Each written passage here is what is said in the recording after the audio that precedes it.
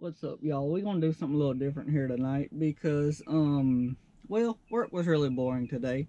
So I basically did nothing but put my Bluetooth headphones in and listen to music all day. And I just hit shuffle and it started playing. And this song came on and I don't know why, but it hit different. I've heard the song a million times.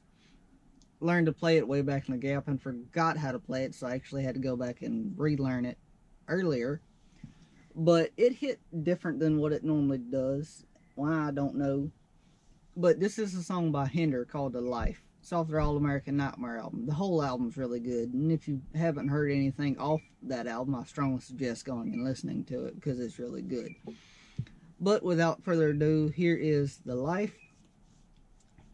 And for legal purposes, I do not own rights to the music or lyrics. So let's get this show on the road.